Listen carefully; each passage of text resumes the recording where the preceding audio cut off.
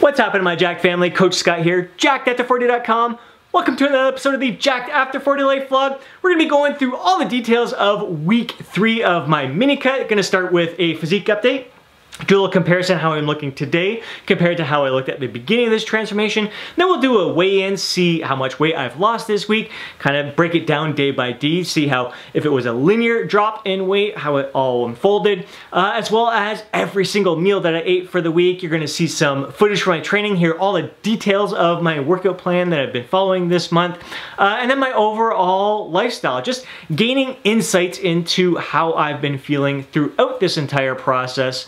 Um, three out of four weeks done here. I can't wait to share this experience with you. Thank you for following along this journey with me, sharing your insights, sharing your feedback. I appreciate you so much. If you enjoyed today's video, please smash that thumbs up button for me again. I would really, really appreciate it. And continue to drop those comments down below because this is a shared experience. I want to hear what you're up to as well and uh, share your journey with me in the comment section below. All right, time to see how I'm looking after three weeks of this mini cut compared to how I looked at the start. I think right away, you can see even just relaxed here, more details in the lower abdominals here. So carrying less belly fat, uh, less fat underneath the belly button so I can barely grab onto anything. The skin is definitely tightening up there, definitely tighter along the love handles. Love handles are shrinking, so if I grab onto here, there's still, there's gonna be some skin I'll always be able to grab on here no matter how lean I get. So relaxed. I couldn't be more stoked with how I'm looking. I'm definitely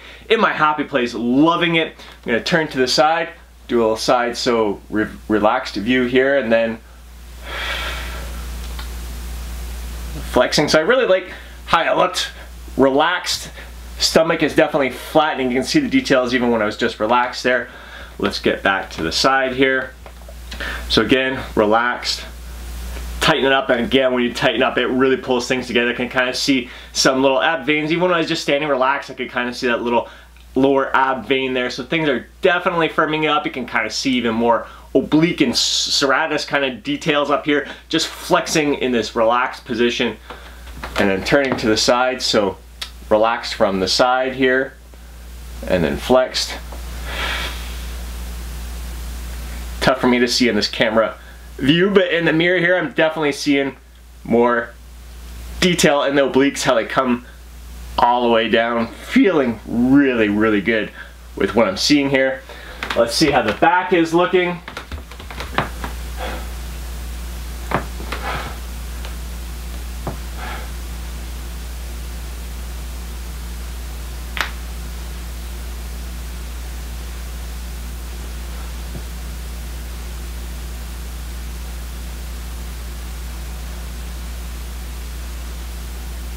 Can't wait to see how that looks. So all in all, I am stoked with how I'm looking. Couldn't be happier. Hope you guys are seeing the visual visual progress here. One more week to go. Time for the weigh-in. Once again, same time, same morning routine, keeping everything as consistent as possible. If you recall, my goal is to drop a pound and a half per week, and I am weighing in at 143.8 pounds, so that is down 1.4 pounds again this week. So the target is about 0.2 pounds per day that I would like to drop. And this week has been pretty consistent if we look at uh, the app here. On the first day, I stayed the same, and then it dropped 0.2, then 0.4, then 0.2 the rest of the time. So this has been the most consistent my weight has dropped. There's so many factors that can influence that, mainly how much you empty your bladder and, and bowels before you step on the scale there. Uh, so first week, I dropped two pounds, which you would expect uh, the first week uh, with the loss of a little bit of water weight, a little bit of the food in the digestive system. So you gotta take that first week with a grain of salt. And then second week, drop 0.4, 1.4, and then third week 1.4 again. So keeping things as consistent as possible. Just gonna keep rolling with it. This week upcoming, the final week in this mini cut, I couldn't be happier with the way things are going right now. So dropping another 1.4 pounds this week will definitely see things really tighten up and uh, will definitely have me pretty damn happy with how this whole mini cut wrapped up here. So looking forward to sharing the rest of the journey. Now let's get to the meals and the training. Now let's dive into the details of my diet for the week. Once again, I nailed my caloric target each and every day. Right between 2,000, 2,100 calories each and every day. Macronutrient ratio, my natural eating tendencies, I'm right around 40% carbs, 30% fat, 30% protein. So it was in that ballpark each and every day. Some days a little bit off there, but uh, never too far off. So getting an adequate amount of each macronutrient. First three meals, exactly the same as they were the previous two weeks. So starting my day with the breakfast shake, one cup of homemade kefir, one cup of unsweetened vanilla almond milk, a tablespoon of black maca powder, a scoop of protein powder, an ass load of spinach, and a banana. Along with that, I have 5,000 IUs of vitamin D3, 300 milligrams of magnesium, 300 milligrams of ashwagandha, uh, three triple strength omega capsules that has a combined EPA DHA of 2.7 grams, uh, 1,000 mcgs of vitamin B12. I've been taking that for thing just about close to three months now ever since I started visiting my naturopath and getting some acupuncture. My blood levels had me at 192. My naturopath wanted me to see optimally up around 400. So been supplementing with that lately. Um, and that is it for the supplementation. Meal number two and meal number three, I swapped around midweek. So typically meal number two, I've been having the 260 grams of plain Greek yogurt along with some frozen mixed berries, a little bit of cinnamon sprinkled on top. Big reason I've had had it at that stage, my pre-workout meal is because I was training clients and it was just convenient for me to bring the Greek yogurt with me and then get my workout in immediately afterwards. But we have been in lockdown right now, so I've gone back to what my normal eating patterns have been, which is my second meal is typically the four large brown free range eggs, uh, two third cup of oats, large flake oats, uh, some mixed berries in there, and some mixed veggies on the side. Uh, so that has always been meal number three for the first two weeks, but I've switched that to number two, and the Greek yogurt is now number three. So same meals, exact same portions and everything. I just find that this helps me to sustain my hunger throughout the day, or, or eh, not hunger, I'm, it, it prevents me from feeling hungry. It sustains my appetite, keeps everything under control uh, a lot better because that Greek yogurt meal is, it's just a smaller meal and I find that it's perfect mid-afternoon, uh, like post-workout and before dinner. Um, it just works out where I just I just feel more energized. I feel that I'm getting even better workouts because of it. So swap those around. Post-workout, I have five grams of creatine monohydrate with water and four ounces of POM pomegranate juice. Most days, there's some days where I just have it with a squirt of flavoring instead of the POM juice. Uh, this POM juice is about 75 calories for the four ounces. Uh, so if I want a bit of a larger dinner, I need more calories for my dinner, I'll just subtract it from this uh, instead of anything else throughout the day. Uh, but still, always the five grams of creatine. Post workout. On the weekends, even when I'm not training, I still have this um, just throughout the day, just because creatine, there's lots of health benefits to it, brain function, heart health. Um, just It's just one of the most uh, researched supplements out there, so I'm gonna consume it on a daily basis. Now let's get to dinner. Saturday I had pulled pork. This was left over from week number one. So uh, week number one, week number two, and week number three, I've had pulled pork. I only had to make it once and spread it out through each of these three weeks. This is the, the last serving that I've had from that. Had this along with some rice and a pepper. And Sunday I had some chicken. It was diced up and cooked in some fajita seasoning along with sweet potatoes and Brussels sprouts. Monday I had a delicious salmon filet along with some yellow homemade potato fries and some Brussels sprouts. Tuesday, kids came over, we had Taco Tuesday. Um, only three tacos. I haven't had tacos in a while. Typically, I'll have at least five of them. Uh, so this was not as satisfying as I'm used to it being. Typically I'd add a little bit of sour cream on there if I was in maintenance mode, muscle building mode, maybe a little extra cheese. I load those suckers up more than they were, but um, I could have always had five, I could have loaded everything up. I would have had to subtract from the other meals that I was consuming throughout the day. And I've just been keeping those meals consistent each and every day. Um, just keeping the portion sizes the same every single day throughout this uh, transformation process and I find it has been helping me tremendously. It just, it's just automatic, it's effortless, it's mindless, um, and I just find that, again, it's sustaining my energy throughout the day and just sticking with that, right around 500 calorie dinner as well. So I just made that dinner fit the 500 calories, yes, as much as I would have enjoyed more. Um, it worked. It was satisfying. I, it sustained my hunger for the rest of the day, so it wasn't too bad at all. Then on uh, Wednesday, I had a tuna steak that I fried in the frying pan, just a little bit of olive oil in there, about a minute and a half each side, some seasonings on top. And I had that along with rice and a pepper.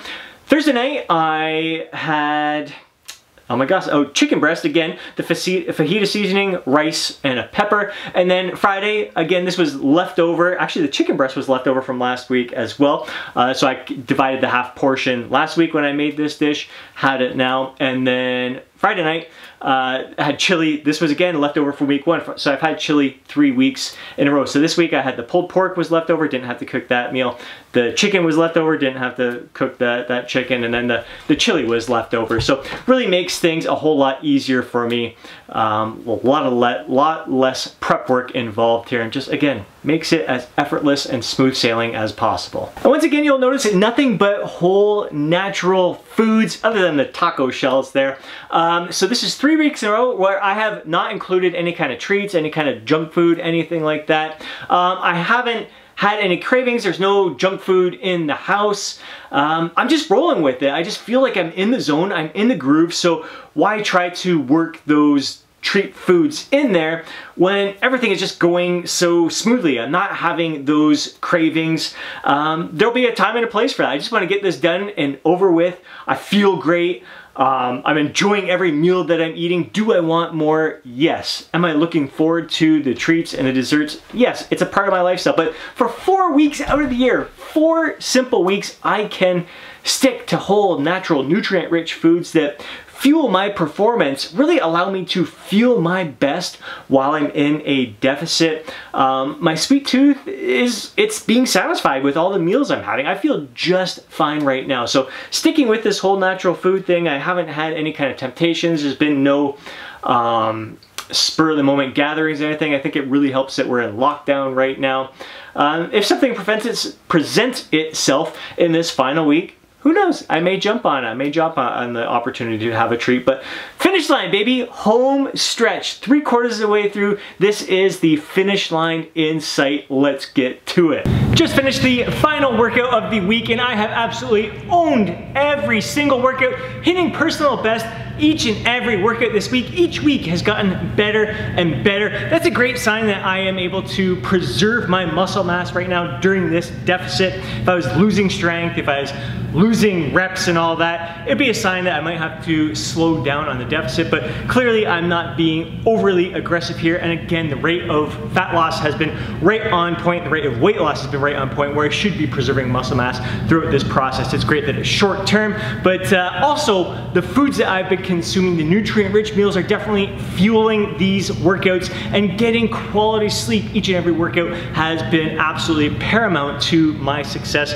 with this programming. So following following the Jacked After 40 Club January workout plan, third week here. Uh, Monday is back and biceps high volume. Tuesday is chest and triceps high volume. Wednesday is legs high volume. Shoulders, we just stimulate a bit. Thursday is back, chest, biceps, triceps, just stimulating them, trying to spark that growth response and um, basically speed up the recovery process. And then Friday, we blast shoulders with high volume and then just stimulate legs. Actually, that's what I do. I do the five days in a row. Ideally, you, uh, with this programming, you do the Monday, Tuesday, Wednesday, take Thursday off, then Friday, Saturday. Just gives you a little bit more rest before that final kind of upper body, lower body uh, day there. But I like having my weekends off to do other fun um, activities. So workouts, just again, absolutely freaking loving this process.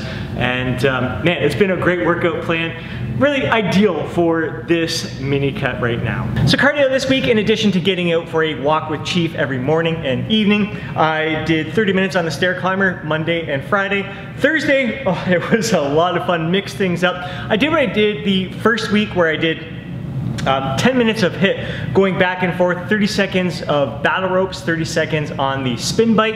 And after the first week, that 10 minutes killed me. I could barely walk after that 10 minutes and my upper body was just spent from the battle ropes. Whereas today I felt a lot better. I got through that 10 minutes a lot easier. Uh, it was a challenge. I was still on fire, but I did 10 minutes on the elliptical machine afterwards and then 10 minutes on the stair climber. So it's been great. Again, this isn't for fat loss. Again, this is Everything in my routine is absolutely the same, whether I'm in fat loss mode, maintenance mode, or muscle building mode. The only difference is I'm consuming 2,000 calories roughly uh, per day instead of the 2,800 to 3,000 calories per day when I'm in maintenance to muscle building mode. This is my lifestyle. I love the cardio for the cardiovascular benefits, the circulatory system benefits, my overall mental health and well-being. Um, I'm just, I find it's really helping. I think it's helping my performance in the gym as well because it just recently started adding on cardio back in uh, in mid-December there. So it's only been about a month now, just over a month that I've uh, been incorporating cardio into my overall lifestyle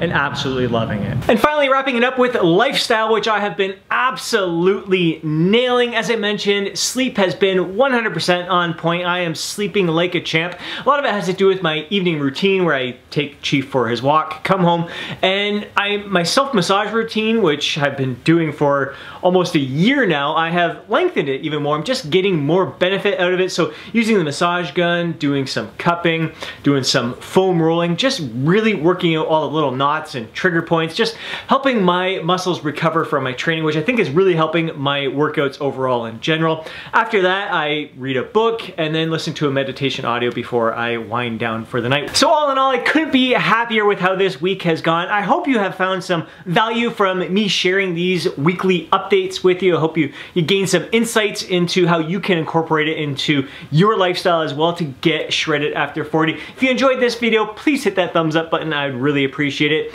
Love to hear from you down in the comment section below. Share your thoughts, share your insights, share your feedback, and any questions that you may have. I would love to help you in your journey as well. Uh, if you know a fellow bro who'd benefit from watching today's video, do me a favor and share it with them. And before you go, don't forget to download your free guide, Jacked After 40.